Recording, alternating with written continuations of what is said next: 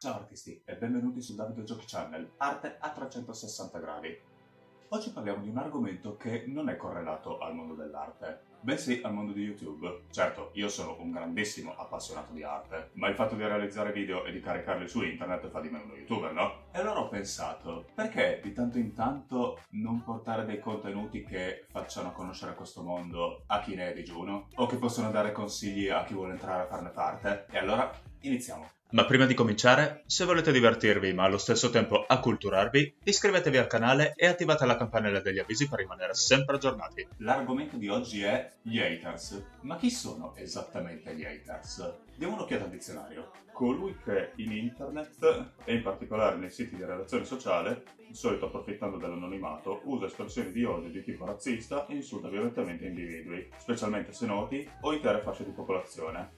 Quindi, in buona sostanza, l'hater è una persona che odia, che ce l'ha con gli altri. Qui su YouTube non si parla tanto di odio per motivi razziali, quanto di una forma di invidia nei confronti di chi lo riceve. Potrebbe anche capitare che qualcuno insulti un'altra persona per motivi legati al sesso, all'etnia, all'orientamento sessuale eccetera. Però da quello che ho avuto modo di vedere io, qui si parla molto più di gelosia legata al numero di iscritti che un determinato youtuber ha, all'argomento trattato sul canale, al modo in cui questi argomenti vengono trattati, eccetera. Certe volte si arriva addirittura a insultare la persona per il suo aspetto fisico, sconfinando nel cosiddetto body shaming. E questo è un evento che ho visto verificarsi molte volte e che sono sicuro capiterà anche a me prima o poi. Tra il fatto di essere molto magro o avere un naso alla Cyrano de Bergerac, sento che qualche imbecille verrà a sfottermi puntando su questi aspetti ma io ho già la risposta pronta. Ho qui a disposizione un kettlebell, non da tirargli addosso, eh, ma da usare per gli allenamenti una volta che mi sarò fatto preparare una scheda da personal trainer. E per il naso c'è sempre la rinoplastica. Purtroppo per un cervello che non funziona c'è ben poco da fare. Forse una visita dallo psichiatra, ma a volte neppure quella serve a qualcosa. C'è da dire che comunque tutti potremmo trasformarci in potenziali haters. Primo perché non si può piacere a tutti, è matematico. Per la legge dei grandi numeri, prima o poi qualcuno si comporterà con noi in maniera diversa rispetto a come si comportano gli altri. Secondo, tutti abbiamo i nostri problemi, grandi o piccoli che siano. Molto brutto a scuola, scuola, un litigio con i genitori, il fatto di aver trovato il partner a letto con qualcun altro, eccetera. Però io preferirei evitare di essere un hater a mia volta. Avendo subito bullismo sia alle elementari che alle medie, riesco perfettamente ad entrare in empatia con chi riceve continuamente messaggi d'odio. E quindi vi dico già adesso, non rispondete al male con altro male, perché si entra inevitabilmente in un circolo vizioso da cui non si esce più. Però se invece siete voi che vi ritrovate ad avere a che fare con un hater, avete tre possibilità per affrontarlo. 1. Ignorarlo. Semplicemente se vi scrive fate finta che quel commento non esista.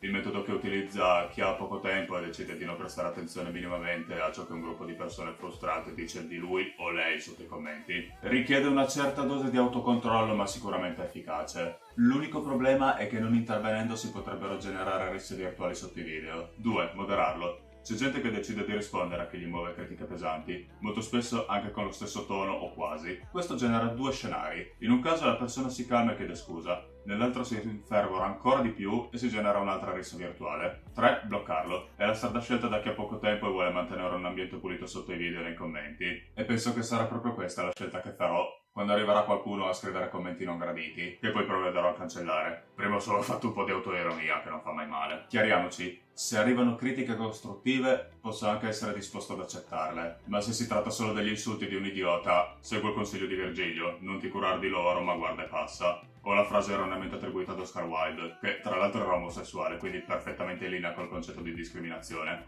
Non metterti mai a discutere con un idiota, ti trascina al suo livello e ti batte con l'esperienza. Credo di aver detto tutto. Se volete fare gli youtuber vi do un ultimo piccolo avvertimento. Non disattivate del tutto la possibilità di commentare sotto i vostri video, perché quelli positivi servono tantissimo. Io ogni tanto ne ricevo e mi fanno molto piacere. Se invece non volete fare gli youtubers, provate uno dei tre consigli elencati nella vita reale e vedete qual è migliore per voi. Solo non diffondete odio, che ce n'è già troppo in giro. Grazie.